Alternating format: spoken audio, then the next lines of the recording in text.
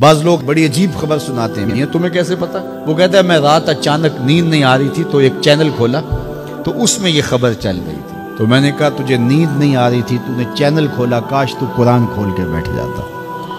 تجھے وہ دکھائی دیتا کہ تیرا اندر تیرا باہر روشن ہو جاتا۔ تو راتوں کی تنہائیوں میں اٹھ کے قرآن مجید پڑھنے کا مزاج پیدا کریں۔ یار، جو شخص نابینا ہے، اسے کیا پتا کہ یہ پھولوں کی بہاریں کیا ہوتی جو پیدائشی نابینا ہے، اسے کیا پتا ہے کہ آسمان پر بزم کواکب کے رنگ کیا ہے؟ اسے تتلی کے پروں میں قدرت کی سنائی کا کیا اندازہ ہو سکتا ہے؟ اسی طرح جس کے دل کی آنکھ اندھی ہے، اسے کیا پتا ہے کہ جمال خدا کیا ہوتا ہے؟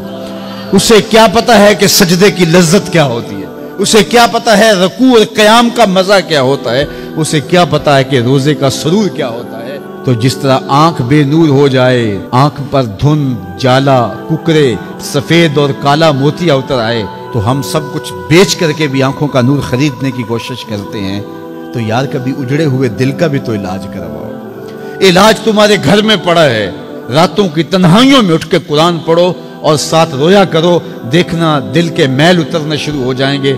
تو اگر ہم اپنے دل کے میل اتاریں گے، تو پھر زندگی کا لطف آنا شروع ہوگا۔ پھر پتہ چلے گا اسلام کیا ہے، پھر پتہ چلے گا دین کیا ہے۔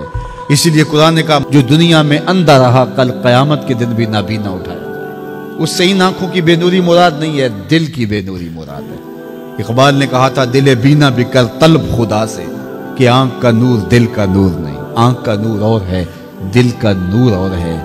پھر سمجھ آئے گی کہ یہ دل کتنی قیمتی شے ہے۔ اللہ نے بدن میں آنکھیں بھی دو رکھی ہیں، کان بھی دو رکھے ہیں، ہاتھ اور پاؤں بھی دو رکھے ہیں، لیکن دل ایک ہی رکھا ہے۔ اور دل عرش اللہ ہے، اللہ کا عرش ہے۔ تو آئیے دل سے زنگ اتاریں، میل اتاریں۔ تو حسد، حقد، کینے، بغض، نفرتیں، یہ ہم پالے رکھتے ہیں۔ اپنی زندگی کو ہم نے خود بوجھل بنایا ہوا ہے۔ میاں، حسد کرنے سے محسود کا کیا ہوگا؟ ہم اپنے آپ کو تلخی میں مبتلا کیے ہوئے ہیں۔ بغض رکھنے سے مبغوز کا کیا ہوگا؟ ہم اپنے آپ کو بوجھ میں مبتلا کیے ہوئے تو اپنے دل سے یہ سارے بوجھ اتار کر کے جب دل کو مصفہ اور مزکہ کریں گے، تو پھر دیکھیے کہ دل کے آئینے میں کیسے جمال یاد دکھائی دیتا ہے۔